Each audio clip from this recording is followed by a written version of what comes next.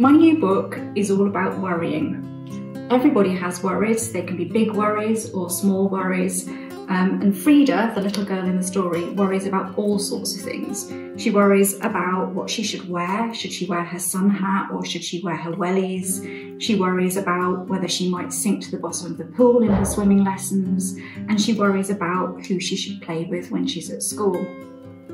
Frida collects pebbles everywhere she goes. She collects one pebble for every worry. And sometimes the worries feel so heavy that they weigh her down, just like the pebbles that she keeps in her pockets.